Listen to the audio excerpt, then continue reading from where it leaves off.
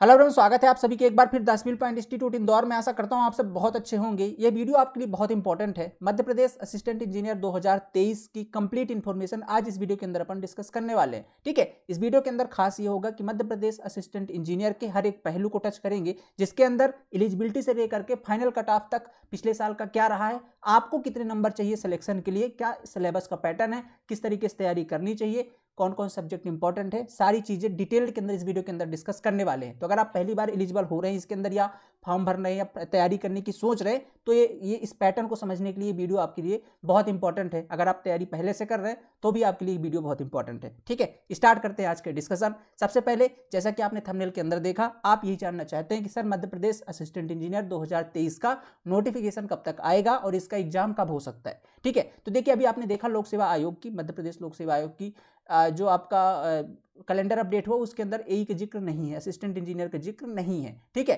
क्योंकि उसके अंदर जो अभी कैलेंडर अपडेट हुआ, वो जून तक के एग्ज़ाम्स का कैलेंडर है। जून के बाद के एग्ज़ाम के बारे में अभी नहीं बताया गया है, ठीक है? 2023 के अंदर। आपका जो एम बी ए का एग्ज़ाम है, वो जुलाई या अगस्त में एक्सपेक्टेड है कि हो सकता है, जुलाई या अगस्त के अंदर। जब जुलाई और अगस्त के अंदर आपका एग्ज़ाम एक्सपेक्टेड तो जनवरी तक आपका नोटिफिकेशन भी आ जाना चाहिए, जनवरी या फरवरी तक में, ठीक है? अब कोई भी एग्ज़ाम आपका जैसे, अब यहाँ से ये एक एक्सपेक्टेड कटा है कि आपका जो एग्ज़ाम है, वो जुलाई या अगस्त तक हो सकता है, क्योंकि अभी 200 से 250 के आसपास वैकेंसी 260 270 वैकेंसीज वैकेंट है, जो कि आपको इस बार 2023 के अंदर देखने को मिलेंगी असिस्टेंट इंजीनियर के अंदर, ठीक है? तो वैकेंसी भी ठीक ठाक रहने वाली है। पेपर कब तक हो सकता है? जुलाई या अगस्त के बीच में ये हो सकता है आपका एग्ज़ाम और नोटिफिकेशन तो जनवरी या फरवरी के बीच में आपको जो है तो इसका नोटिफिकेशन देखने को मिल जाएगा। ओके तो ये तो एक बात हो गई नोटिफिकेशन की और एग्ज़ाम की। अगर आप अभी इस एग्ज़ाम को फोकस कर रहे हैं तो यहाँ से आपके पास अगर जुलाई में भी एग्ज़ाम होता है तो भी छः से सात महीने का टाइम बचा हुआ है, जो कि ये एग्ज़ाम आपसे माँगता है, इतना आपको डेडिकेटेड मेहनत करनी पड़ेगी बेसिक से सारी चीज़ों को समझने के लिए। ठीक है? क्योंकि यहाँ पर आपको मध्य प्रदेश सब इंजीनियर जैसा पैटर्न चेंज होता हुआ नहीं दिखेगा, जैसा पैटर्न रहता है, जैसे प्रीवियस ईयर रहते हैं सेम उसी तरीके का फॉलो होता है लेवल अप होता जाता है टाइम के साथ। ठीक है? बस वही चीज़ है मतलब इसके अंदर जो चीज़ सिलेबस के अंदर है, बहुत डिटेल के अंदर सिलेबस होता है। सबसे अच्छी खास बात यह है कि इसका सिलेबस बहुत टुकट दिया हुआ है, आपको एक एक पॉइंट यहाँ पर डिस्कस मिलेगा। तो स्टार्ट करते हैं आज का discussion Madhya Pradesh assistant engineer 2023 का। सबसे पहली बात, एलिजिबिलिटी से रिलेटेड क्वेश्चन रहते हैं कि सर एलिजिबल कौन होगा? तो इसके अंदर वो एस्पिरेंट एलिजिबल है जिनका सिविल इंजीनियरिंग के अंदर या मैकेनिकल के अंदर या इलेक्ट्रिकल के अंदर तीन ही ब्रांच की वैकेंसी जाती है। तो ये तीन ही ब्रांच के अंदर आपका जो है तो सिविल इंजीनियरिंग में या आपने जिस भी ब्रांच से फॉर्म भरना है, उसमें डिग्री आपकी कंप्लीट होनी चाहिए। ठीक है, आपको ध्यान रखना है कि ये जब आपका कंप्लीट हो जाएगा, तभी आप फिल कर सकते हैं। अगर आप फाइनल ईयर में हैं रनिंग में हैं तो आप इसके अंदर फॉर्म नहीं भर सकते हैं। यहाँ पर आप टू कट बात लिखी रहती है कि भैया, यहाँ के आपको जो है तो अगर फॉर्म भरना है तो आपके पास सिविल इंजीनियरिंग में या किसी भी इंजीनियरिंग जिस विभाग में आप फॉर्म भर रहे हैं, उसके अंदर आपका कंप्लीट होना चाहिए। कंप्लीट मतलब आपका एग्ज़ाम हो गया, आपका रिज़ल्ट आ चुका है तो आप इसके अंदर फॉर्म भर सकते हैं। सिविल इंजीनियरिंग डिग्री वाले बीटेक होना चाहिए या बी होना चाहिए आपके पास। डिप्लोमा वाले इसके लिए एलिजिबल नहीं है, ठीक है? डिप्लोमा वालों के लिए सेपरेट आप जेई वगैरह की तैयारी कर सकते हैं, जैसे सब इंजीनियर या एस जेई की, ठीक है? असिस्टेंट इंजीनियर के अंदर आपके पास डिग्री होना चाहिए। एग्ज़ाम पैटर्न क्या होता है? एग्ज़ाम पैटर्न इसका दो दो स्टेज के अंदर होता है। एक स्टेज, फ़र्स्ट स्टेज आपका रिटर्न टेस्ट होता है और सेकेंड स्टेज आपका इंटरव्यू है, ठीक है? स्टेज फ़र्स्ट आपका रिटर्न टेस्ट है, स्टेज टू आपका इंटरव्यू है। मैं एक बात बोलूँ, इस टाइम पे ना जिस प्रकार से सब इंजीनियर का पैटर्न है, हर साल बदल जाता है, असिस्टेंट इंजीनियर की तैयारी करना as compare to sub engineer ज़्यादा आसान है। क्यों? क्योंकि यहाँ पे सिलेबस एकदम क्लियरली दिया हुआ है आपको टॉपिक क्लियरली दिया हुआ है। अगर आप तैयारी कर रहे हैं फोकस तैयारी कर रहे हैं तो आपको यहाँ पर ज़्यादा हेल्प होगी। इस बार सब इंजीनियर में देखा भी गया थे जो एस्पिरेंट जिनके असिस्टेंट इंजीनियर में जिन्होंने क्वालिफाई किया 2021 का, वो अभी सब इंजीनियर के एग्ज़ाम पे 110 105 नंबर पा रहे हैं। रीजन पता है क्या? क्योंकि वहाँ पर कोई चीज़ वेल डिफाइंड ही नहीं है ओके तो यहाँ पर आपको वेल डिफाइंड सिलेबस मिलेगा वेल डिफाइंड एग्ज़ाम पैटर्न मिलेगा, ठीक है? तो ये आपके लिए इस समय बेस्ट हो सकता है अगर आप इस एग्ज़ाम की तैयारी करें और पोस्ट भी अच्छी है, ठीक है? तो अब यहाँ पे देख सकते हैं, सबसे पहले आपका रिटर्न टेस्ट होता है, पहला पेपर होता है साढ़े चार सौ नंबर का, एक ही पेपर होता है, इस पेपर का जो मोड होता है ये ऑफलाइन मोड होता है, ठीक है? पेपर कैसा होता है आपका? ऑफलाइन पेपर होता है आपका, ओके, मैं आपको दिखा देता हूँ ऑफलाइन पेपर ठीक है, ये आपका देख सकते हैं, ये इसका कंप्लीट दिया ही हुआ है परीक्षा पर जो सिस्टम होता है, किस तरीके से होता है तो ओ एम आर सीट के अंदर आपका पेपर होता है, ठीक है, किसके अंदर होता है? ओ एम सीट के अंदर इनका पेपर होता है सी बी टी एग्ज़ाम नहीं होता है यहाँ पर कंप्यूटर बेस्ड टेस्ट नहीं होता ओ एम सीट के अंदर आपको गोले भरने होते हैं तीन घंटे का पहला पेपर होता है जो आपका रिटर्न टेस्ट है, जिसके अंदर आपके डेढ़ सौ क्वेश्चन होते हैं, ठीक है? कितने क्वेश्चन होते हैं? डेढ़ सौ क्वेश्चन होते हैं। डेढ़ सौ क्वेश्चन मतलब डेढ़ सौ क्वेश्चन के अंदर आपका दो पार्ट के अंदर सिलेबस डिवाइडेड होता है, एक को अपन एक खंड आ बोलते हैं और खंड बा बोलते हैं। खंड आ के अंदर आपका मध्य प्रदेश से जीके वाला पोर्शन आता है, राष्ट्रीय एवं अंतर्राष्ट्रीय स्तर का सामान्य ज्ञान, ठीक है? एमपी जीके, नेशनल जीके और इंटरनेशनल जीके, ये तीनों पूछ जाता है तथा इसके अंदर कंप्यूटर के भी कुछ क्वेश्चन होते हैं, ठीक है? कुछ इसके अंदर कंप्यूटर के भी क्वेश्चन होते हैं। तो ये वाला पार्ट से आपके आते हैं पचास क्वेश्चन और दूसरा वाला पार्ट आप जिस भी ब्रांच से हैं, जैसे आप अगर सिविल से हैं मैकेनिकल से हैं या इलेक्ट्रिकल से हैं, इनमें से जिस भी ब्रांच से हैं आप, उसके आपके रिस्पेक्टिव ब्रांच से सौ क्वेश्चन हर क्वेश्चन आपका तीन नंबर का है, यहाँ पर भी तीन नंबर का है मतलब पचास ते डेढ़ सौ ये और तीन सौ ये, कुल मिलाकर के साढ़े चार सौ नंबरों का आपका रिटर्न टेस्ट होता है। ठीक है? इस रिटर्न टेस्ट के अंदर अगर आप क्वालिफाई होते हैं ठीक है? ये कितना, ये इसके अंदर कितने लोग क्वालिफाई करते हैं? मतलब इंटरव्यू के लिए कितने लोग जाते हैं? तो इसका सिंपल सा है कि तीन गुना प्लस समान अंक, ठीक है? तीन गुना प्लस समान अंक जो है तो क्वालिफाई होते हैं इंटरव्यू के लिए। मतलब एक जैसे वैकेंसी आपकी कितनी, सौ वैकेंसी है, ठीक है? सौ वैकेंसी है तो तीन गुना मतलब तीन सौ लोग तो ये हो गए। और जिनके समान अंक होंगे, मान लो बीस लोग के सेम नंबर थे तो उनको मतलब तीन सौ बीस लोग जाएँगे इंटरव्यू के अंदर। अब तीन सौ बीस में सिलेक्शन सौ का होना है, ठीक है? जिनकी मेरिट बनेगी, उनका इसके अंदर फिर सिलेक्शन हो जाएगा। इंटरव्यू आपका होता है पचास नंबरों का, ठीक है? इंटरव्यू आपका होता है पचास नंबरों का और टोटल आपके कितने हो जाते हैं फिर? साढ़े चार सौ नंबरों का रिटर्न टेस्ट पचास नंबर का इंटरव्यू टोटल हो गए पाँच सौ नंबर और इन पाँच सौ नंबरों में से आपकी मेरिट बनती है। जिनकी मेरिट अच्छी होती है, उनका सिलेक्शन हो जाता है। मतलब जिनके टॉप हंड्रेड जैसे हंड्रेड सीट है तो जो टॉप हंड्रेड में आएँगे कैटेगरी वाइज अलग अलग चीज़ें, उस हिसाब से फिर आपके इसके अंदर सिलेक्शन होता है। ये इसका एग्ज़ाम पैटर्न है, ठीक है? ये इसका एग्ज़ाम बहुत ही सुव्यवस्थित एग्ज़ाम पैटर्न होता है। सौ से इंटू तीन सौ आपका टेक्निकल का है और पचास इंटू तीन आपका नॉन टेक्निकल का है। नॉन टेक्निक केवल आपको एम के, इंटरनेशनल सामान्य ज्ञान, जो आपका अंतर्राष्ट्रीय जी के है, और आपके ठीक है इंडिया जी के और कुछ कंप्यूटर का पोर्शन होता है आईटी का, ठीक है, उसको पढ़ना होता है। उसका भी वेल डिफाइंड सिलेबस है। अभी इसके बारे में भी अपन बात करते हैं। तो ये तो हो गया इसका एग्ज़ाम फ़र्स्ट का सिलेबस ठीक है? एग्ज़ाम सेकंड आपका कैसा है? हाँ एग्ज़ाम सेकंड आपका इंटरव्यू है पचास नंबर का। बात करते हैं निगेटिव मार्किंग की। वन थर्ड की आपकी निगेटिव मार्किंग होती है। अगर आपने कोई गलत आंसर कर दिया है तो एक नंबर आपके डिडक्ट होते हैं, क्योंकि वन थर्ड मतलब एक बटा तीन, ठीक है? तो तीन नंबर का आपका टोटल पेपर एक क्वेश्चन तीन नंबर का होता है। उसका वन थर्ड मतलब एक नंबर आपका डिडक्ट होता है। ठीक है? उसका आपका क्या होता है? एक नंबर डिडक्ट होता है। मतलब यहाँ पास जो फार्मूला यूज़ करते हैं, तीन आर माइनस डब्ल्यू यूज़ करते हैं, आप इसके अंदर देख भी सकते हैं। ठीक है? यहाँ पे नीचे दिया हुआ है। ये दिया हुआ है। ठीक है? ये तीन R minus W formula use होता है। आर यहाँ पास क्या होता है? सही उत्तरों की संख्या और डब्ल्यू आपका गलत उत्तरों की। बात वही है वन थर्ड की आपकी निगेटिव मार्किंग होती है। ठीक है? कहानी यहाँ तक समझ में आ गई। तो मतलब पैटर्न आपको समझ में आ गया। किस तरीके का पैटर्न होता है अगर आप तैयारी कर रहे हैं तो इस तरीके का पैटर्न है और इस तरीके से आपके क्वेश्चन बनने वाले हैं। ओके जो लोग अभी जो लोग एग्ज़ाम दे चुके हैं, कई बार थोड़ा सा वीडियो की स्पीड बढ़ा लेंगे, ये थोड़ा सा स्किप कर लेंगे तो आपको आगे जो है तो आपके लायक काम की चीज़ मिल जाएगी। पचास नंबर का इंटरव्यू होता है।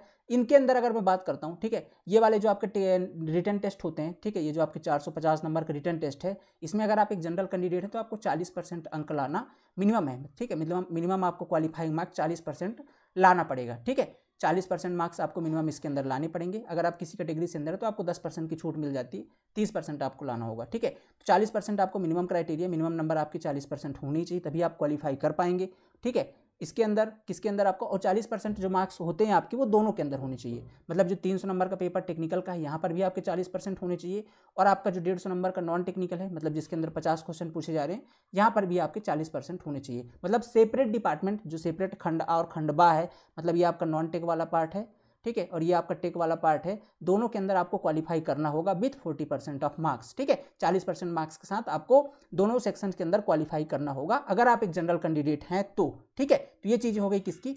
स्टेज फ़र्स्ट के अंदर। ये आप अगर क्वालिफाई करते हैं, इसके बाद आप क्वालिफाई हो जाएँगे किसके अंदर? इंटरव्यू के अंदर। इंटरव्यू के अंदर कोई क्वालिफाइंग मार्क्स तय नहीं है, ठीक है? इंटरव्यू के अंदर आप अगर क्वालिफाई हो जाते हैं तो आपके डिपेंड करता है आपकी पर्सनालिटी आपके इंटरव्यू पे कितने मार्क्स आते हैं। वो इंटरव्यू के मार्क्स आपके टोटल रॉ मार्क्स में ऐड होते हैं। इसके बाद आपकी मेरिट बनती है। अगर आप क्वालिफाई करते हैं तो आप डायरेक्टली सेलेक्ट हो जाएँगे, ठीक है? ये यहाँ से बनता है। यहाँ पर कोई ऐसा नहीं कि आपको मिनिमम मार्क्स लाने होंगे। ये कोई क्राइटेरिया आपका जो है तो तय नहीं है। ओवरऑल मार्क्स आपका फाइव का है, ठीक है? जैसे ही पाँच सौ नंबर में से जो आपकी वैकेंसी उसके हिसाब से आपकी मेरिट बनती है और आपका सिलेक्शन होता है। अब आपके मन में डाउट आएगा कि सर ये 500 नंबर है, इसमें से पिछला डाटा क्या कहता है कि कितने नंबरों पे सिलेक्शन हुए हैं, ठीक है? पिछला डाटा क्या कहता है? तो हम देख लेते हैं एक बार। 2020 का रिज़ल्ट हमारे पास अभी रिसेंटली आया हुआ है, ठीक है? तो 2020 का रिज़ल्ट में यहाँ पे देखिए लिखा हुआ है, ठीक है? पचास अंकों में से कोई साक्षात्कार अंक के लिए निर्धारित नहीं है। मतलब इंटरव्यू में कोई मिनिमम आपसे जो है तो मांगे नहीं जाएँगे, ठीक है? बाकी आप अगर टेक्निकल पोर्सन नॉन टेक में देखेंगे तो वहाँ पास आपसे चालीस परसेंट अंक मांगे जाते हैं। दूसरी बात कर लेते हैं अपन थोड़ा सा कि आपका जो अभी रिज़ल्ट आया रिसेंटली उसके अंदर कितने जो है तो टोटल कट ऑफ़ गई हुई है, ठीक है? तो यहाँ पास आपको पीडीएफ में दिखा देता हूँ। ये 2020 का आपके सामने रिज़ल्ट दिया हुआ है, ठीक है? ये ऑफिशियल जो आपके वाला रिज़ल्ट है ना जो अभी पब्लिश हुआ है, ये रिज़ल्ट ठीक है? इस रिज़ल्ट से अपन ने बनाया हुआ है, ये एकदम ऑफिशियल आप इसको भी देख सकते हैं, इसकी पीडीएफ नीचे टेलीग्राम ग्रुप पर मिल जाएगी, इसके अकॉर्डिंग ये पूरी है, ठीक है? तो कितने परसेंट किस कैटेगरी का कट ऑफ़ गया हुआ है, ये आप यहाँ पर देख सकते हैं। एम अगर दो हज़ार बीस की बात करते हैं तो यहाँ पास पहले मेल कैटेगरी का दिया हुआ है अलग अलग कैटेगरी के लिए, कि कितनी मेल कैंडिडेट का कितनी कट ऑफ़ गई है अलग अलग कैटेगरी के लिए। तो जनरल कैंडिडेट की अगर मैं बात करता हूँ, ठीक है जनरल अनरिजर्व कैटेगरी की, ठीक है तो अनरिजर्व कैटेगरी के अंदर देखते हैं टोटल 324 का नंबर में जो है तो सिलेक्शन हो गया था। अब ये सिलेक्शन मतलब किसी भी डिपार्टमेंट की बात है सिलेक्शन की बात है। यहाँ पर अगर बात करेंगे पीडब्ल्यू की तो उसकी थोड़ी कट ऑफ़ हाई जाएगी, ठीक है डिपेंड करेगा किसी डिपार्टमेंट के ऊपर। डिपार्टमेंट की कट ऑफ़ हाई जाएगी, ये मिनिमम नंबर्स हैं। इतने पे आपको डिपार्टमेंट अलॉट हो गया था, वो चाहे कोई सा भी डिपार्टमेंट हो। ठीक है? इतने पर आपको डिपार्टमेंट अलॉट हो गया था। तो 324 नंबर पर जनरल कैटेगरी या अनरिजर्व कैटेगरी को अलॉट हो गया थे। कितने नंबरों में से? चार सौ इकसठ में से। अब कहेंगे, सर पेपर तो 500 का हो रहा है। चार सौ इकसठ कैसे हो गई इसके अंदर क्या था? 2020 के अंदर बहुत सारे क्वेश्चन डिलीट किए गए थे। ठीक है? क्वेश्चन डिलीट क्यों किए गए? क्वेश्चन डिलीट करने का रीजन ये था क्योंकि बहुत सारे जो क्वेश्चन थे वो गलत होते हैं तो फिर जब डिलीट हो जाते हैं, जितने क्वेश्चन बचते हैं, उसके अंदर आपकी मार्किंग होती है। ठीक है? तो बहुत सारे क्वेश्चन डिलीट किए गए, इस वजह से जो आपके टोटल पूर्णांक बचे थे, वो आपके चार सौ इकसठ बचे थे। तो चार सौ इकसठ में से तीन सौ चौबीस नंबर कट ऑफ़ गई है। ठीक है? पाँच में से नहीं है। तो टोटल कट ऑफ़ आपकी सत्तर गई थी, दो हज़ार बीस के अंदर अनरिजर्व कैटेगरी की। ठीक है? मेल कैंडिडेट की। अगर ओबीसी की बात करता हूँ तो ओबीसी के देखने केवल दो नंबर कम थे 322 नंबर गई थी। उनहत्तर परसेंट इनका कट ऑफ़ था। ठीक है? ई डब्ल्यू एस कैंडिडेट की 313 नंबर पर सिलेक्शन हुआ है, अड़सठ परसेंट इनका कट ऑफ़ अप्रॉक्स है ज़ीरो पॉइंट पे कुछ आगे पीछे हो सकता है अप्रॉक्स अड़सठ परसेंट का cut off SC category male candidate की आपकी दो सौ छियासी नंबर पर सिलेक्शन हुआ था, बासठ परसेंट इनकी कट ऑफ़ गई थी। ठीक है? बासठ परसेंट मतलब आउट ऑफ़ में फोर सिक्सटी वन की बात कर रहा हूँ। ठीक है? इसके बाद 260 नंबर आपके एसटी कैंडिडेट के थे संतावन परसेंट इनकी कट ऑफ़ गई थी। ठीक है? आगे चलते हैं अपन किसके? ये आपने स्क्रीनशॉट ले लेना है। ठीक है? देख लीजिए। कहने का मतलब ये ये दिखाने का रीजन ये है कि अगर आप 2023 की तैयारी को टारगेट कर रहे हैं तो आपके कितने टारगेट होने चाहिए? आपको बस इनको देखना है। आपको इतने नंबर लाने ये नहीं देखना। ये ये नहीं देखना इसलिए क्योंकि ये आउट ऑफ़ फोर है। अब पेपर आपका पाँच का होगा। हो सकता है इस बार क्वेश्चन डिलीट ना हो। हो सकता है ना? आप तो ये मान के चलो क्वेश्चन डिलीट नहीं होंगे तो आपको तो इतना परफॉर्म करना है। क्वेश्चन डिलीट हो जाए, फिर भी आपको सिलेक्शन लेना है। तो कहने का मतलब ये है कि आपको इतना टारगेट करना है, आपको कम से कम सत्तर परसेंट स्कोर करना होगा अगर आप अनरिजर्व कैटेगरी से हैं तो ठीक है? अनरिजर्व कैटेगरी से हैं तो। अब ये चूँकि थोड़ा सा आंकड़ा आगे पीछे होगा रीजन ये कि जो रिज़ल्ट अभी 2020 का जारी हुआ है, एक मिनट में आपको दिखाता हूँ।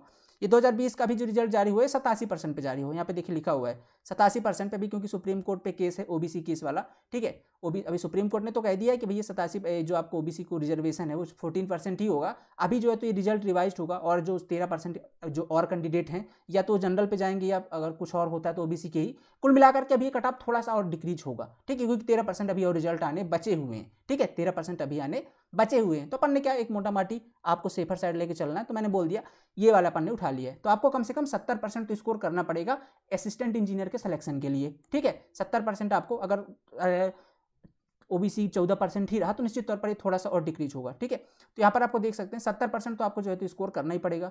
अड़सठ परसेंट आपको स्कोर करना पड़ेगा डब्ल्यू एस के लिए, बासठ परसेंट एस सी के लिए और संतावन परसेंट आपका एस टी कैटेगरी के लिए। अगर बात कर लेता हूँ अपन इसकी फीमेल कैटेगरी के अंदर फीमेल कैटेगरी में अगर आप देखते हैं तो देखिए जनरल या बोल दो अनरिजर्व कैटेगरी के अंदर आपका दो नंबर में सिलेक्शन हुआ है, ठीक है? मतलब चौंसठ ठीक है? फोर्टी चौंसठ दशमलव चार जो है तो आपका कट ऑफ़ गई। ओबीसी के अंदर दो सौ इक्यानवे नंबर पे हुआ है ईडब्ल्यू के अंदर दो सौ इक्यासी नंबर पे और 250 नंबर पे एससी का और दो सौ उनतालीस नंबर एसटी का। आप इसको देख लीजिए एक बार परसेंटेज वाला क्राइटेरिया चौंसठ परसेंट इनकी कट ऑफ़ है, तिरसठ परसेंट आपका ओ बी लिखा हो सॉरी ओ बी सी है, ठीक है? ओ बी सी की ई डब्ल्यू एस के अंदर आपका साठ परसेंट है, ठीक है? एस सी कैटेगरी का आपका चौवन परसेंट और एस टी का इक्यावन परसेंट पे। देख रहे हैं एस टी कैटेगरी के अगर कोई फीमेल एस्पिरेंट हैं तो उनका इक्यावन परसेंट केवल कट ऑफ़ गया है। कहने का मतलब अगर पेपर आपका ढाई सौ को होता तो भी आपको ढाई सौ नंबर में सॉरी पाँच सौ होता तो भी आपको ढाई सौ या दो सौ बावन नंबर में सिलेक्शन हो जाते, जो कि बहुत ज़्यादा स्कोर नहीं होते हैं, ठीक है? अगर आप अच्छे तरीके से मेहनत कर रहे हैं तो आप इनको बिल्कुल क्वालिफाई कर सकते हैं। बहुत आसान होता है, इतने नंबर लाना, ठीक है? अगर आप सही तरीके से दिमाग लगा करके मेहनत करें तो ठीक है? तो ये होता है आपका क्या? कट ऑफ़ वाला क्राइटेरिया ये तो आपका टोटल प्रीवियस कट ऑफ़ थी, ठीक है? तो इस तरीके से आपने देख लिया पैटर्न को समझ लिया, कितना आपको स्कोर करना है, ये देख लीजिए। अपने कैटेगरी के अकॉर्डिंग आपको कितना स्कोर या कितना टारगेट आपको करना है, ठीक है? यहाँ पे भी लिखिए ओबीसी है आपको कितना टारगेट करना है? 2022 के अंदर सॉरी 2023 की वैकेंसी के अंदर, ठीक है? अब ये है कि आप थोड़ा सा अगर और सोचते हैं तो इसको थोड़ा सा और दस, दो, तीन परसेंट आगे बढ़ा के देख लीजिएगा, बहत्तर या तिहत्तर परसेंट, क्योंकि हर साल कंपटीशन बढ़ता है आपका टाइम के साथ। बहुत सारे लोग, अब चूँकि क्या है ना, इस बार बहुत सारे लोग अभी तैयारी करने लग रहे हैं, सब इंजीनियर की कर रहे थे, सारे लोग शिफ्ट हो गए असिस्टेंट इंजीनियर के अंदर तो निश्चित तौर पर कंपटीशन थोड़ा सा आपका बढ़ जाएगा, ठीक है? तो ये आपको थोड़ा सा मान करके चलना है। तो इसकी होगी कंप्लीट इन्फॉर्मेशन। सिलेबस में एक बार और दिखा देता हूँ, ठीक है? सिलेबस के अंदर क्या क्या चीज़ें होती हैं तो अपन चलते हैं एक बार पहले नॉन टेक्निकल सिलेबस के अंदर, ठीक है? ये आपका, जस्ट सेकेंड।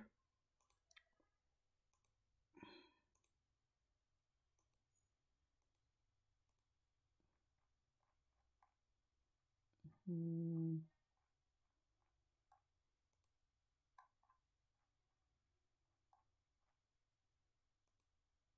हम्म, ठीक है ये ओके ये आपका क्या है? नॉन टेक्निकल का सिलेबस है ठीक है? ये आपका नॉन टेक्निकल का सिलेबस है ओके नॉन टेक्निकल के सिलेबस के अंदर आप देखते हैं तो कौन कौन से टॉपिक पूछे जाते हैं? तो मैंने बताया पचास क्वेश्चन टोटल आने हैं यहाँ से डेढ़ सौ नंबरों के पचास बाई इंटू तीन 150 नंबरों के, जिसके अंदर नेशनल भी है, इंटरनेशनल भी है और एमपी का भी है और कुछ कंप्यूटर का पार्ट भी है। ठीक है, आप देख रहे हैं मध्य प्रदेश का इतिहास, संस्कृति एवं साहित्य से क्वेश्चन पूछे जाते हैं। ये टॉपिक आप देख सकते हैं इनके कौन कौन से। इतिहास में कौन सी घटनाएँ हुई हैं? आंदोलन कौन से स्वतंत्रता स्वतंत्रता संग्राम में मध्य प्रदेश का क्या है?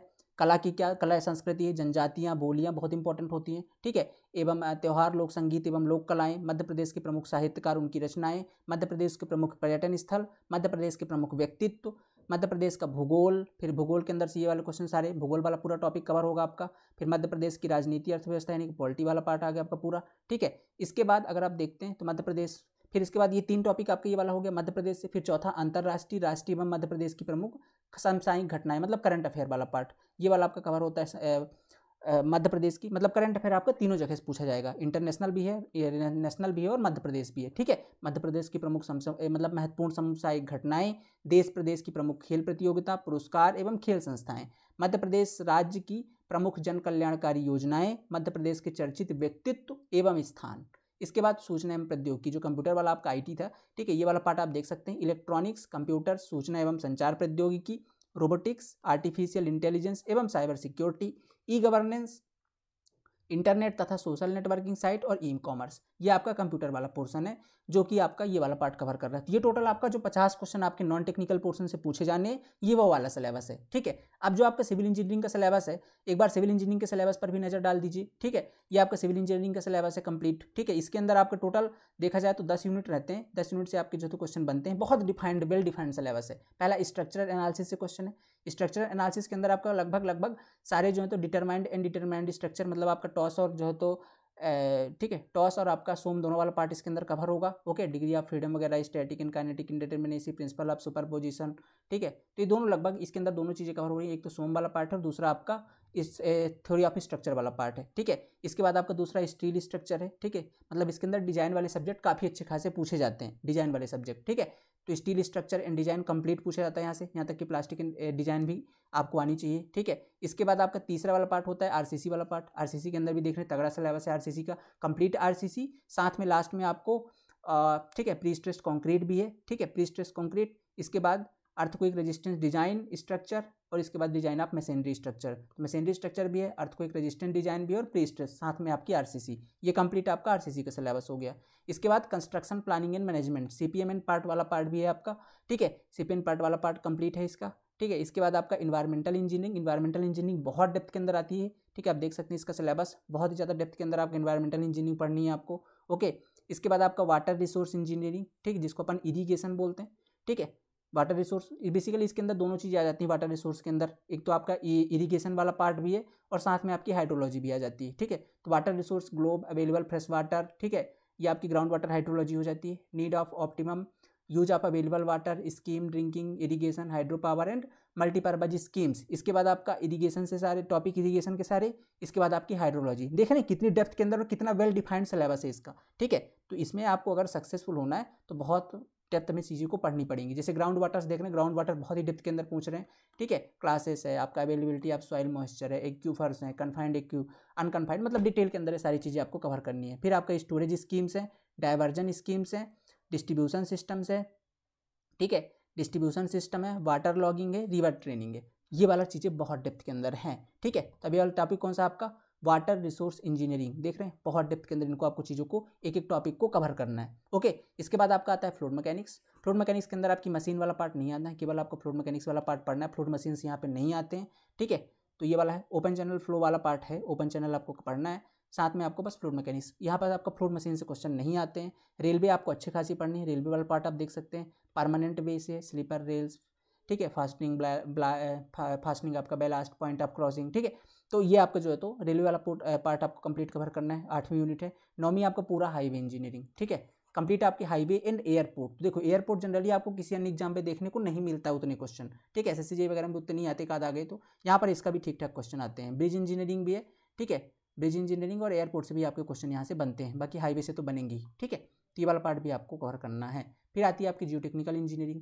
देखो जियो टेक्निकल इंजीनियरिंग के अंदर इंडेक्स प्रॉपर्टी, आप सॉइल क्लासिफिकेशन पूरा लगभग कह दीजिए पूरी सॉइल मैकेनिक्स आपको कवर करनी है इसके अंदर, ठीक है? बहुत डिटेल के अंदर है, बहुत डेप्थ के अंदर, सारी चीज़ें इसके अंदर कवर करनी है। तो टोटल ये दस यूनिट है, ठीक है? आपको इसके अंदर दो तीन सब्जेक्ट नहीं दिखे होंगे, जैसे जो आपके फेवरेट होते हैं, जैसे आपका BMC building material and construction, दूसरा आपको नहीं दिखा होगा सर्वे ये सब्जेक्ट यहाँ पर नहीं पूछे जाते हैं। ठीक है, ये जे एग्ज़ाम्स के लिए होते हैं, यहाँ पर ये नहीं पूछे जाते हैं। आपको ये एग्ज़ाम्स के लिए थोड़ा डिज़ाइन वाले सब्जेक्ट पे ज़्यादा पकड़ बनानी होती है और इस, ये पकड़ बनाने के लिए आपको चाहिए एक सफिशियंट टाइम अगर आप 2000 एग्ज़ाम 2023 एग्ज़ाम की तैयारी कर रहे हैं तो ये बेस्ट टाइम है इन कॉन्सेप्ट को डेवलप करने का। क्योंकि आप बिल्डिंग मटेरियल तो लास्ट में रट भी सकते हो थ्योरी वाले सब्जेक्ट तो रट भी सकते हो, लेकिन आपको अगर क्वेश्चन बनाने हैं डिज़ाइन वाले सब्जेक्ट के तो उसके अंदर आपकी प्रॉपर समझ और पकड़ होनी चाहिए, तभी आप इनके क्वेश्चन को सॉल्व कर पाएँगे। ठीक है, तभी आप इनके क्वेश्चन को सॉल्व कर पाएँगे। तो इसके लिए आपको सफिशियंट टाइम चाहिए, कम से कम सात से आठ महीने चाहिए इसकी तैयारी के लिए, जो कि अभी बेस्ट टाइम है। अगर आप इसके, इस पर एग्ज़ाम को फोकस कर रहे हैं तो तीन से चार घंटे, पाँच घंटे डेली इसकी क्लासेस लीजिए, इनके पी वाई क्यू सॉल्व करिए, ठीक है?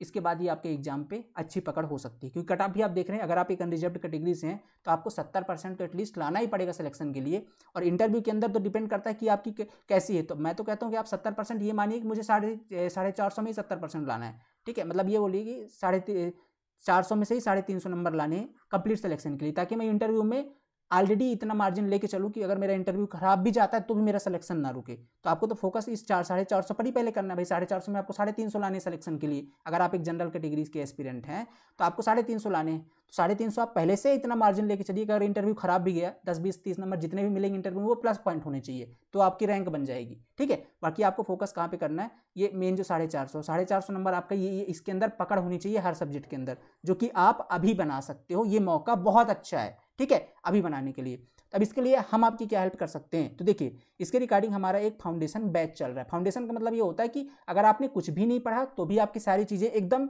ज़ीरो से लेकर के एडवांस लेवल पे कवर की जाएँगी। और इसके अंदर एक बार सिलेबस आपको पढ़ना है, अच्छे तरीके से सात से आठ महीने लग के फिर आप एग्ज़ाम को देना है। इसके अंदर हमने क्या क्या दिया हुआ है, आप एक बार समझ लीजिए।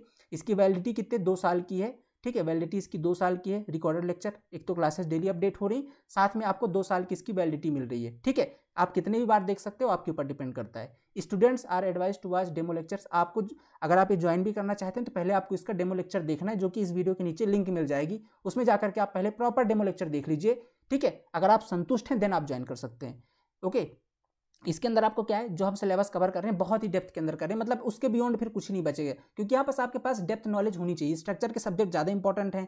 जैसे आप देख रहे हैं वाटर रिसोर्स वाला पार्ट बहुत डेप्थ के अंदर है। जो आप चीज़ों को डेप्थ में समझ लेंगे, एक बार सारे पीवाईक्यू कर लेंगे, ठीक है? एक ही बार मेहनत करनी है ज़िंदगी में, फिर आपके देखिएगा, सारे एग्ज़ाम बहुत शानदार तरीके से निकलते जाएँगे। अभी आप क्या है ना, थोड़ी तैयारी करी हुई, इसका भी फॉर्म भर दिया जब वैकेंसी आ गई, इसका भी फॉर्म भर दिया, फिर उसके लिए थोड़ा सा पढ़ लिया थोड़ा सा इसके लिए एक बार लग के सिविल इंजीनियरिंग पढ़ लीजिए। इसके बाद फिर कोई भी एग्ज़ाम आए ए आई जे आई ये सी के आए गेट दीजिए, कोई भी दीजिए, ठीक है? जो एक्स्ट्रा सब्जेक्ट हो, उनको बस एड ऑन करना है आपको और साथ में बस उनके पी वाई क्यू लगाने हैं और इसके बाद आपको एग्ज़ाम आपके क्वालिफाई होंगे, ठीक है? बट ये कि आपको पहले इनके कॉन्सेप्ट पर पकड़ बनानी होगी ओके इसके बाद देखिए सारे पी वाई क्यू हम लोग सॉल्व करवा के, चूँकि इस बार ना थोड़ा सा हमने पैटर्न चेंज कर दिया। क्या है? जैसे अपन स्टूडेंट को बोलते हैं कि यार, आप ना, हम कोई चैप्टर कवर करवा दें, आप आप उसके पी वाई क्यू लगा लीजिए। तो एक तो वो पी वाई क्यू सॉल्व नहीं करते, वो अपना नोट्स रिवाइज करते रहते हैं। और जब तक आप पी वाई क्यू सॉल्व नहीं करेंगे, आप कितनी भी थ्योरी पढ़ लीजिए, आपके कॉन्सेप्ट में उतनी पकड़ नहीं बनेगी। तो आपको पहले पी वाई क्यू तो सॉल्व करना पड़ेगा, ज़रूरी है। ये स्टूडेंट वो चीज़ करते नहीं है। तो इसलिए हमने अपने कोर्स के अंदर भी ये चीज़ें इंक्लूड कर दी है कि अब हर जो भी आपको हमारे टीचर्स पढ़ाएँगे, चाहे कोई भी सब्जेक्ट पढ़ा रहे हैं, उसके तो हर एक सब्जेक्ट चैप्टर कवर होने के बाद लेट सपोज़ अगर आप अभी सोम पढ़ रहे हो तो सोम में अगर आपने पहला चैप्टर एसएफडी और बीएमडी पढ़ा, ठीक है? एसएफडी और बीएमडी पढ़ा। तो ये चैप्टर आपको कवर करने के बाद इसके जितने भी पी वाई बन रहे हैं P Y M C Qs बन रहे हैं अलग अलग एग्ज़ाम्स के अंदर। वो एग्ज़ाम है आपके, जैसे M P P S C का ही पेपर हुआ है आपका, ठीक है? दूसरा आपका, जैसे ई एस सी का पेपर हुआ है ई एस सी के बाद आपका गेट का। ये जो तीन एग्ज़ाम है मेकस फोकस हमने इसके अंदर किया हुआ है एस एस सी जेई के भी कुछ क्वेश्चन ऐसे अगर लगते हैं कि यार ये करवाने लायक है जो आप नहीं कर पाओगे, वैसे तो एसी करने के बाद कुछ बचता नहीं है बट अगर ऐसा लगता है कि बचता है, आप नहीं कर पाओगे तो वो चीज़ें भी मतलब इतने सारे पी वाई को हम खुद ही करवा के इस बार दे देंगे, आपके कोर्स के अंदर ही डाल के दे देंगे, ताकि आपको अब एक्स्ट्रा मेहनत करनी ना पड़े, जो पढ़ा दिया, जितना पढ़ा दिया, बस उतना ही पढ़ लेना है पी भी सारे हम नहीं कर देने ठीक है, उन वीडियो को एक दो बार देख लेना, वैसे क्वेश्चन और कर लेने अपने शॉर्ट नोट्स बना के रिवाइज करना है। तो एक कंप्लीट चीज़ें दे रहे हैं अपन इस बैच के अंदर इस बार। पूरी डेडिकेटेड बैच लेकर के आए हैं। केवल ए पर फोकस्ड है और किसी पर नहीं। ठीक है? आपको पढ़ा वो सारी चीज़ देंगे जो ए के अंदर बहुत इंपॉर्टेंट है। ठीक है? इसके बाद अगर कोई आप चाहते हैं ज्वाइन करना मतलब ज़ीरो से एडवांस लेवल का तो आप इस बैच के अंदर आ सकते हैं। मैंने बताया कि इस बैच के बाद कुछ बचेगा नहीं आपका सिविल इंजीनियरिंग के अंदर। ठीक है? कंटेंट के अंदर क्या है? सभी सब्जेक्ट की वीडियो लेक्चर्स कवर होंगे। टेक एंड नॉन टेक दोनों चीज़ें। ठीक है? किसके साथ? By subject expert faculties faculties के बारे में आपने कई बार देख भी लिया, आपने डेमो लेक्चर्स भी देखे होंगे, चाहे पीयूष सर क्यों प्रभाव सर क्यों अभी और भी आएँगे। ठीक है? तो आपने उनके लेक्चर अभी जो अब उनके देखिए, उनकी समझिए, किस तरीके से वो पढ़ा रहे हैं, आपको बहुत डेप्थ के अंदर कवर कर रहे हैं सारी चीज़ें।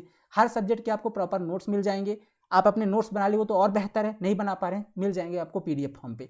प्रैक्टिस सेट आपको मिलेगा हर सब्जेक्ट का चैप्टर वाइज इसके बाद आपकी पर्सनल गाइडेंस तो है ही है। आप अपने जाके फैकल्टी से डायरेक्टली बात कर सकते हैं। कहीं पर कोई डाउट आ रहा है आप उनसे डायरेक्टली क्लियर कर सकते हैं। डाउट सेशन प्रॉपर अवेलेबल है। तो ये सारी फैसिलिटीज़ हम इस बार, इस बैच के अंदर दे रहे हैं डेडिकेटेड ठीक है? ताकि आपको कहीं पर भी आप कोई चीज़ें लैक ना करें। सात से आठ महीने का टाइम लीजिए। आराम से जुलाई अगस्त में इसका एग्ज़ाम होगा। अभी आपके पास प्रॉपर टाइम है। बैठिए, अपने कॉन्सेप्ट को डेवलप करिए। आपको ऐसा लग रहा है कि यार लंबा टाइम है तो लंबा टाइम तो इसके अंदर लगेगा। क्योंकि वैकेंसी भाई, समझ रहे हो ना, आप असिस्टेंट इंजीनियर की तैयारी करने जा रहे हो तो आपको लंबा टाइम देना पड़ेगा। आप जो कि वहाँ पर क्या है ना, आप किसी जेई की एग्ज़ाम की तैयारी दो पी वाई क्यू सॉल्व कर चले जाओ तो ठीक है। लेकिन यहाँ पर क्या आपके कॉन्सेप्ट में पकड़ होनी चाहिए, क्योंकि जो सब्जेक्ट का वेटेज है, वो ऐसे वेटेज सब्जेक्ट का है, ज़्यादा जिनका आपको अगर इन डेप्थ नॉलेज नहीं तो आप क्वेश्चन नहीं बना पाओगे क्वेश्चन गलत हो जाएँगे। तो आपको इसके अंदर अपनी समझ पहले डेवलप करनी होगी, चाहे स्ट्रक्चर के सब्जेक्ट हो गए या वाटर रिसोर्स इंजीनियरिंग वाले हो गए, यहाँ पर आपको प्रॉपर इनकी पकड़ बनानी पड़ेगी, ठीक है? तो इसके लिए आपको सात से आठ महीने अपने देने पड़ेंगे, तभी ये पॉसिबल है अदरवाइज़ पॉसिबल नहीं है बिल्कुल भी,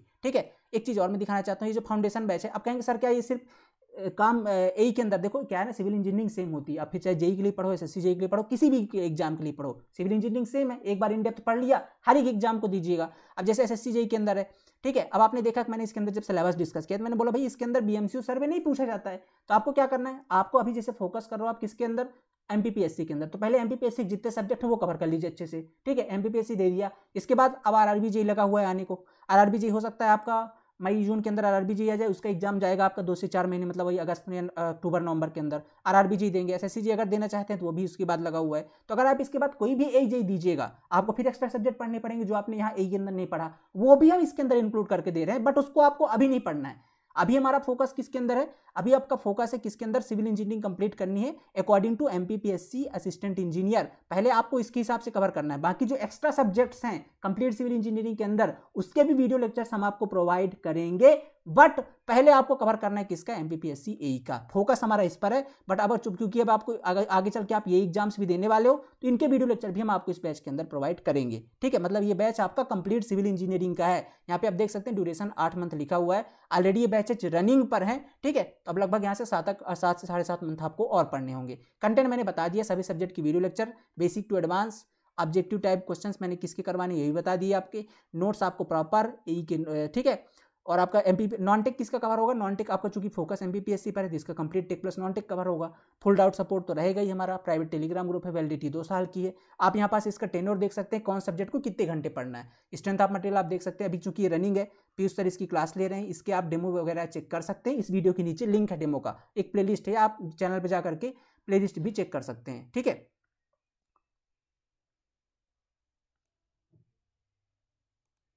ओके तो स्ट्रेंथ ऑफ़ मटेरियल आपका कवर हो रहा है लगभग पचहत्तर घंटे के अंदर या आर्स के अंदर है, ठीक है? पचहत्तर आर्स के अंदर। इसी तरीके से आपका थ्योरी ऑफ़ स्ट्रक्चर है। आरसीसी आपकी देख सकते हैं प्री स्ट्रेस कॉन्क्रीट है डिज़ाइन ऑफ़ स्टील स्ट्रक्चर्स है। Geotechnical engineering environmental engineering fluid mechanics open channel flow है। हाइड्रोलिक मशीन अब जो कि आपको ए के अंदर तो पहले तो ये नहीं पढ़ाया जाए, क्योंकि ए के अंदर ये नहीं पूछा जा रहा है। इसको अपन बाद में कवर करेंगे। सर्वेइंग वाला पार्ट है, लेकिन ये अभी नहीं पूछा जा रहा तो इसको बाद में कवर करेंगे। इरीगेशन इंजीनियरिंग फोर्टी ये जो कि वाटर रिसोर्स इंजीनियरिंग एक पार्ट है। आपका इंजीनियरिंग हाइड्रोलॉजी है, हाईवे इंजीनियरिंग है, रेलवे इंजीनियरिंग है, ब्रिज एंड एयरपोर्ट है, ठीक है?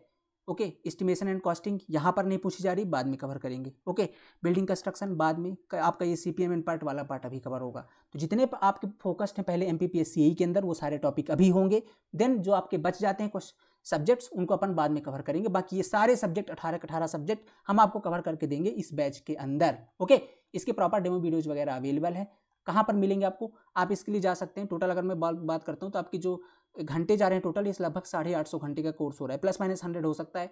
आठ सौ घंटे आपको लगभग आठ सौ, नौ सौ घंटे के बीच ही जो है तो कोर्स जाएगा। ठीक है? तो अब इतना तो पढ़ना ही पड़ेगा यार। इससे कम पे तो हो भी नहीं कुछ सकता कुछ। ठीक है? तो इतना लगभग आपको पढ़ना पड़ेगा कंप्लीट सिविल इंजीनियरिंग का। ओके कोर्स इसके बाद बात कर लेता हूँ टोटल इसकी फ़ी कितनी तो आप देख सकते हैं फ़ीस ट्वेल्व थाउज़ेंड है। इस पर चूँकि हमने अभी ऑफ़र लगाया हुआ था फ़र्स्ट फाइव हंड्रेड स्टूडेंट के लिए टेन थाउज़ेंड के अंदर, अभी ये ऑफ़र वैलिड है। आप अभी इसका उठा सकते हैं लाभ इस प्राइज पर। कहाँ पर? चूँकि इसकी वैलिडिटी भी दो साल के तक की है, दो साल आपके पास ये कोर्स रहेगा, ठीक है? और कंप्लीट सिविल इंजीनियरिंग एमपीपीएससी का कवर होगा, टेक प्लस नॉन टेक साथ में जो अदर सब्जेक्ट हैं, अदर एग्ज़ाम्स के लिए वो भी कवर होंगे, ठीक है? जो ओल्ड स्टूडेंट्स हैं, हमारे जैसे जो अभी सब इंजीनियर का बैच लिए हुए थे, इसके बाद आपने इससे पहले कुछ भी बैच लिया हुआ है सब इंजीनियर का, हमारे दस विल पॉइंट ऐप से कुछ भी लिया है, टीओ का बैच लिया है, सब इंजीनियर का लिया है किसी भी अदर एग्ज़ाम के लिए है, और अगर आप इस बैच के अंदर चाहते हैं तो आपको हमारी तरफ़ से एक्स्ट्रा लाभ है, क्योंकि आपने एक बार पे किया हुआ है तो आपको दोबारा ना करना पड़े उतना ही। तो हमारी तरफ़ से आपको कुछ एक्स्ट्रा ऑफर्स हैं, ठीक है? कुछ एक्स्ट्रा ऑफ़र हैं, ये केवल ऑफ़र उन्हीं के लिए है, जो इन्होंने पहले से कुछ लिया हो, कोई भी बैच लिया हुआ उन्होंने जितना भी अमाउंट पे किया हुआ है, ठीक है? जितना भी अमाउंट उन्होंने दस बिल पॉइंट पे पे किया हुआ है, उसका फिफ्टी परसेंट इस प्राइस पर, ये जो नाइन नाइन नाइन आपको दिख रहा है इस प्राइस पर फिफ्टी परसेंट और ऑफ़ मिल जाएगा। ठीक है, इसके लिए आपको एक स्पेशल प्रोसेस करनी होगी। वो ये है कि इस व्हाट्सअप नंबर पर nine three four zero triple eight four two nine, इस व्हाट्सअप नंबर पर कॉन्टेक्ट करना होगा और आपको अपना जो रिसीप्ट मिला है आपको जब आपने कोर्स ज्वाइन किया, वो आपको सेंड करना होगा। सर, आपको सारी प्रोसेस समझा देंगे या इस नंबर पर आप कॉल कर लीजिएगा, वो आपको सारी प्रोसेस समझा देंगे कैसे कैसे आपको एक स्पेशल कूपन कोड दिया जाएगा आपके लिए। ठीक है तो इस पर आपको स्पेशल ऑफ़ मिल जाएगा। यहाँ पर आप जा करके ज्वाइन कर सकते हैं। ठीक है? तो ये है आपका complete information M P assistant engineer का। आप पूछेंगे, सर, कौन सी फैकल्टी आपके यहाँ पढ़ा रही हैं? तो आप देख सकते हैं, पीयूष फरासर सर हैं। ठीक है? ये लीड कर रहे हैं इसी बैच के अंदर आपका। ठीक है? आप इनके बारे में क्वालिफिकेशन आप पढ़ सकते हैं। बहुत तगड़ी इनकी क्वालिफिकेशन है। एक बार इनको बैठ करके पढ़ लीजिएगा। काफ़ी समय से पढ़ा रहे हैं। ऐसा नहीं कि अभी कोई नई फैकल्टी काफ़ी समय से पढ़ा रहे हैं और दूसरे हमारे प्रभाव सर हैं। बहुत तगड़ा पढ़ाते हैं उनके डेमो लेक्चर आप हमारे यूट्यूब चैनल के अंदर देख सकते हैं। अभी और भी आएँगे। उनकी भी क्वालिफिकेशन में कोई कमी नहीं होगी। कोई कमी हम नहीं छोड़ रहे इस बार एम पी के अंदर। यकीन मानिए, बहुत तगड़ा बैच लेकर के आए हैं। बस आपको सात से आठ महीने टाइम देने हैं। एक बार दे के देखिएगा। यकीन बोल रहा हूँ, ज़िंदगी में दोबारा सिविल इंजीनियरिंग आपको नहीं पढ़नी पड़ेगी और ना कोई एग्ज़ाम आपका रुकेगा। बस ये ना, रुकने का रीज़न ये कि आपने थोड़ा थोड़ा पढ़ा हुआ है और जाके बस एग्ज़ाम दे रहे हैं, ठीक है? थोड़ा थोड़ा पढ़ा हुआ एग्ज़ाम दे रहे हैं, ठीक है? तो इस वजह से जो है तो आप लैक कर सकते हैं। तो इसलिए आपको अभी यहाँ पर पढ़िए, डिटेल के अंदर समझिए, ठीक है? और इस एग्ज़ाम के अंदर आप बहुत अच्छा कर सकते हैं। इसकी वैकेंसी आपको जनवरी या फरवरी के अंदर दिख जाएगी, आती हुई और एग्ज़ाम आपका जुलाई से अगस्त। बहुत अच्छा टाइम चल रहा है तैयारी करने का, ठीक है? अगर आप एम को टारगेट कर रहे हैं तो। तो ये हमारी जो पीयूष परासर सर हैं, इनका आप देख सकते हैं डिटेलिंग ये इनकी कंप्लीट इन क्वालिफिकेशन है, ठीक है? और बाकी अगर आप प्रभाव सर के देख सकते हैं, उनको वो भी उनके भी सेपरेट क्लासेस अवेलेबल है यूट्यूब के अंदर, ठीक है? वो भी आप उनकी भी चेक कर सकते हैं, ठीक है? बाकी आज की कंप्लीट इन्फॉर्मेशन वीडियो आपको कैसी लगी? आप बता सकते हैं कि हैं इस वीडियो की कमेंट बॉक्स में या हमें पर्सनल टेलीग्राम पर भी मैसेज कर सकते हैं। वीडियो के नीचे टेलीग्राम ग्रुप का लिंक है। ये जो आप, मैंने आज कंप्लीट आपको इन्फॉर्मेशन बताई है, जिसमें आपका सिलेबस वाला पार्ट है, ये जो भी कंप्लीट पीडीएफ सिलेबस वाला पार्ट टेक का नॉन टेक का, अगर आपको चाहिए कंप्लीट एनालिसिस वाली पीडीएफ चाहिए तो नीचे टेलीग्राम ग्रुप का हमारा लिंक है। नाम है आपका the civil point underscore Indore ठीक है? The civil point underscore Indore इसको ज़रूर ज्वाइन कर लीजिएगा। कोई भी अपडेट होती है, यहाँ पर आपको इसका अपडेट मिल जाता है, ठीक है? तो आशा करता हूँ आपको इन्फॉर्मेशन पसंद आई होगी। ठीक है लग जाइए छः से सात महीने एक अच्छी जर्नी हमारे साथ दस विल पॉइंट के साथ आपके एम पी असिस्टेंट इंजीनियर की। ठीक है पर डे यहाँ से तीन से चार घंटे क्लासेस ऑलरेडी चल रही हैं। ठीक है आप भी इसके साथ जुड़ करके बहुत अच्छी तैयारी कर सकते हैं इस बार एई की। ठीक है क्योंकि मौका अभी है और यही टाइम है आपका तैयारी करने का। ठीक है तो आशा करता हूँ आपको सारी चीज़ समझ में आई है। अगर इसके बाद भी, भी कोई डाउट है आपके कि सर कोई और पर्सनल इन्फॉर्मेशन चाहिए तो ये हमारे कॉन्टैक्ट नंबर्स हैं। इन पर आप कॉल या व्हाट्सअप कर सकते हैं। Nine three four zero triple eight four two nine या nine one seven nine four one seven four double zero. इन पर आप कॉल व्हाट्सअप कर सकते हैं, ठीक है? और इस वीडियो के नीचे आप एप्लीकेशन पर भी जा करके, ठीक है? कोर्सेज आपको कहाँ पर मिलेंगे? आपको जाना पड़ेगा द सिविल पॉइंट ऐप के अंदर। गूगल प्ले स्टोर से जा करके आप डाउनलोड कर सकते हैं और स्टोर पर जाकर आप सर्च कर सकते हैं अपना फाउंडेशन बैच, ठीक है? ओके? तो आई होप आपको सारी चीज़ समझ में आ गई होंगी। मिलते हैं अब अगली क्लास के अंदर, ठीक है? और जो लोग अभी N H M sub engineer को सोच रहे हैं, उनकी भी क्लासेस सेपरेट स्टार्ट हो गई हैं ऐप के अंदर। उसकी भी कंप्लीट इन्फॉर्मेशन आपको संदीप सर आकर के देंगे, ठीक है? मिलते हैं अगली क्लास के अंदर। Thank you so much have a nice day